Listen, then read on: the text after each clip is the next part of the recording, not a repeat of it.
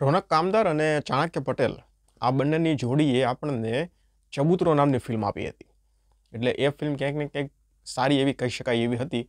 ફિલ્મે નિરાશ તો નહોતા કર્યા. તો હવે આ બંનેની જોડી ફરીવાર એકવાર આપણી સામે બિલ્ડર બોયઝ નામની ફિલ્મ લઈને આવે છે. આ ફિલ્મને લખી પણ ચાણક્ય પટેલે છે અને ફિલ્મના ડિરેક્ટર પણ ચાણક્ય પટેલ છે. એટલે ફિલ્મ પાસેથી આશા તો છે કે ભાઈ ક્યાંક ને ક્યાંક ફિલ્મ સારી એવી તો નીકળશે અને જે ઓડિયન્સ ફિલ્મને જોઈએ છે ને એ લગભગ લગભગ ક્યાંક મળી જશે. એવું અત્યારે ટ્રેલર પરથી લાગે છે. ટ્રેલર ડિસન્ટ ટાઈપનું કહી શકાય, સારું કહી શકાય.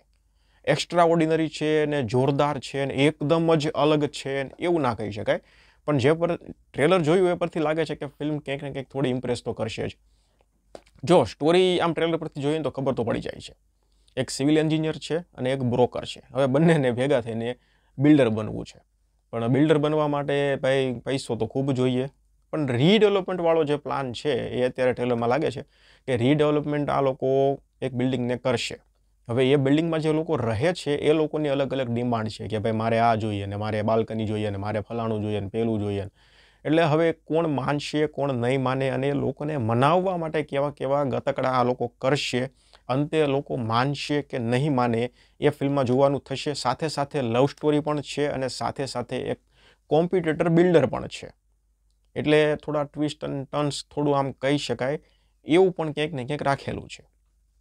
એટલે હવે લવ સ્ટોરી ને કોમેડી ને કોમ્પિટેટર બિલ્ડર એટલે એક ટાઈપનું વિલન કહી શકાય, એ ટાઈપનું ને બધું ભેગું થઈને એક ફિલ્મ બનાવી છે. આશા કરીએ કે ફિલ્મ આપણને કંઈક ને કંઈક મજા કરાવે, પસંદ આવે. એટલે રોનક કામદાર, પછી શિવમ પારેખ અને ઈશા કંસારા મુખ્ય ભૂમિકામાં છે. પાંચ જુલાઈ સિનેમાઘરમાં ફિલ્મ આવશે.